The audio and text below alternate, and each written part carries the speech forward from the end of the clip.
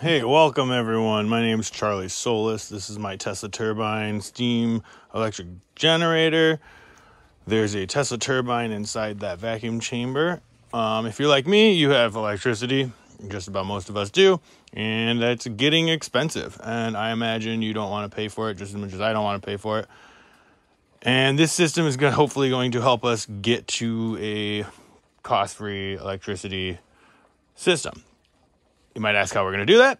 Uh, so a lot of people have access to solar um, collectors. You don't not PV, but solar thermal collectors. They're pretty simple. You can either do mirrors or you can do just black sheet or rubber mats. There's a lot of different ways you can do it. There's other things like geothermal, and a lot of people also have biomass, like yard clippings, yard trimmings, all your annual leaves that fall every year. That can be used to produce heat. It's all carbon neutral to power the boiler and drive the turbine. And you just then need a condenser and a cooling tower, which I'm using a Tesla fountain as the cooling tower for cooling the condenser, and it'll dump all that heat into the air. How the system works is a basic steam Rankine cycle as you put in energy and it makes steam. Energy first goes to latent heat of vaporization, that then goes to making or pressurizing the steam. You then exhaust that steam into a superheater, and that superheater goes straight directly to the turbine. Through the turbine, the steam expands, goes into the vacuum chamber, and then through these pipes goes into the condenser. The condenser's got cooling water that circulates through it, and that's going to remove the latent heat of condensation. Then the latent heat of condensation is dumped into the air by the Tesla fountain, which will then be used for heating into my workshop right now. So for the boiler, I have three 1500 watt electric water heaters in there. Um, right now, I'm doing it electric so that we have a known value of a thermal input. So then I can then compare that to uh, the electrical output of the turbine.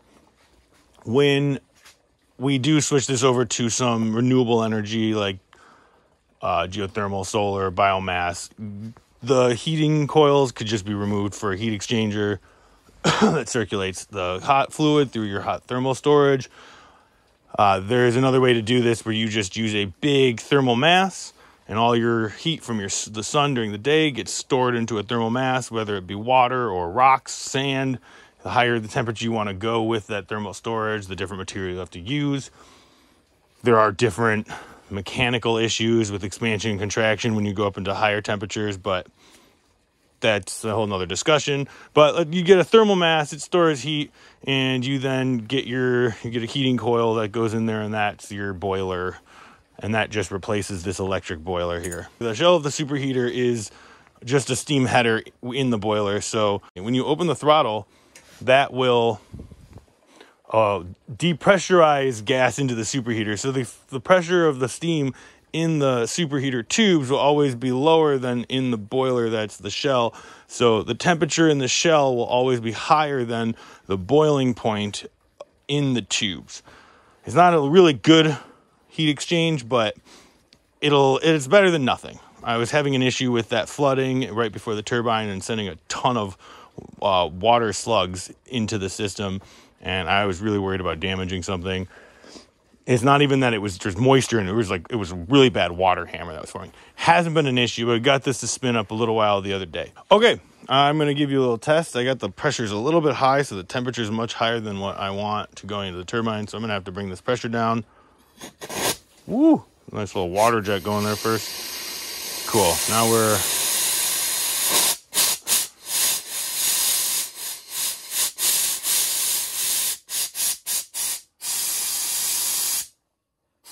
America.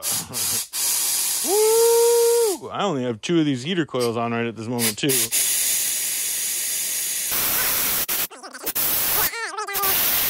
That's definitely higher than it should be because I didn't adjust it as it got warmer.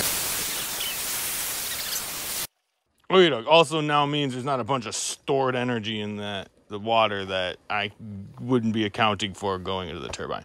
But everything's set up. Let's start it spinning first. All right.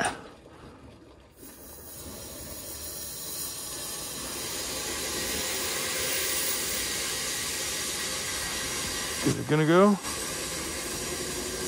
Yeah, there it goes.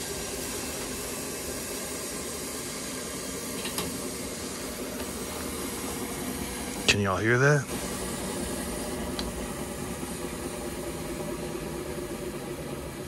No, it's slowing down.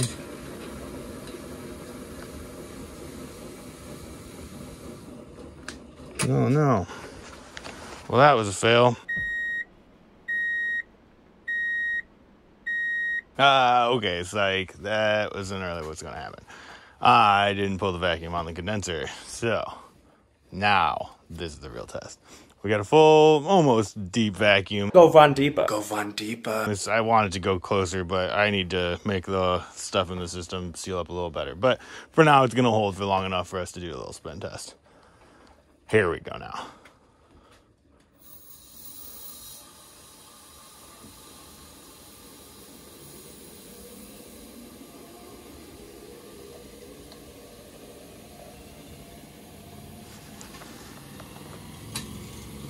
Can you hear that? That's cruising right now. And it's accelerating. Yes. It's accelerating. This that's power. Take a look at the boiler down here. See how she's pumping. Oh no, we are getting close to the. You getting, you can see the water is getting low. Wow, that is awesome. Vacuum's slowly going down. Go Von deeper, Dylan. I don't have the cooling water going to it. Yeah, that's sustained too. Hell yeah. Okay.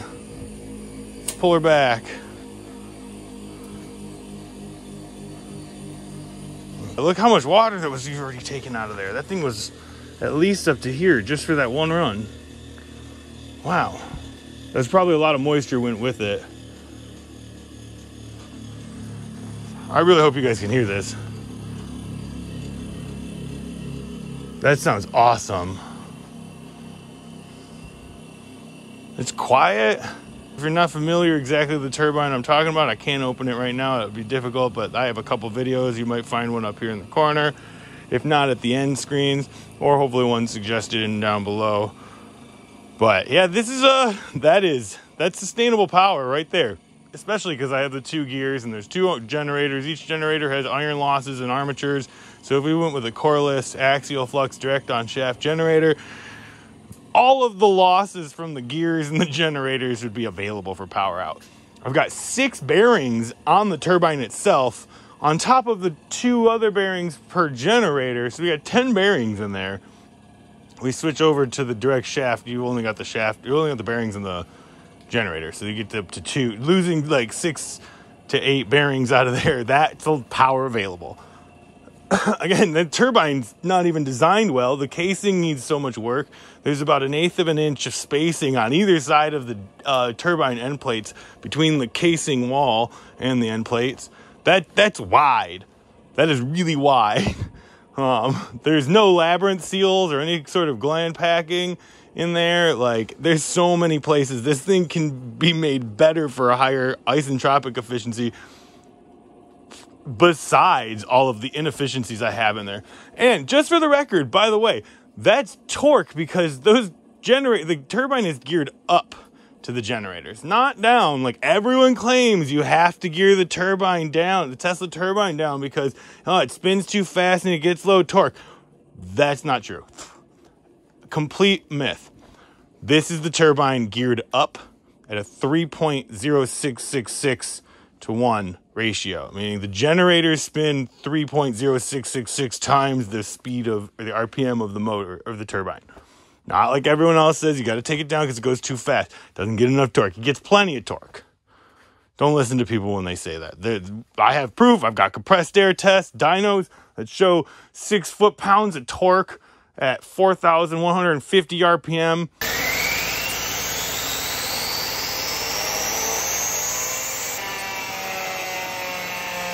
People saying it doesn't have torque. That's what piston engines, a 125cc piston engine gets about eight foot pounds of torque. That that that's that's high torque at low RPM. Yeah, so like we were saying before, I'm sure you have electricity that you pay for and you don't want to pay for it. And electricity is getting expensive if you know what's going on with Ukraine and Russia and prices for fuel and energy. That's that let's not get into that, but let's all just agree we don't want this to keep going on and we want to things to change. And this system is a way for us to be able to utilize solar, geothermal, biomass waste, even just waste heat that's being used in fossil industries is being dumped out. That stuff can be used. But Tesla turbine, cryophorus, vacuum steam, cold steam, there's a bunch of names for it.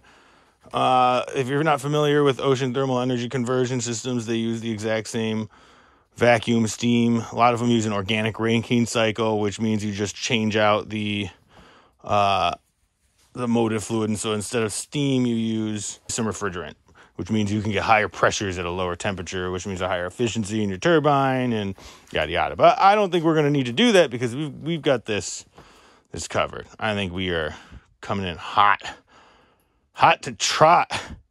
Cause that that that spun. I don't know what RPM that was because I don't have it set up because I need to do an electrical feed through.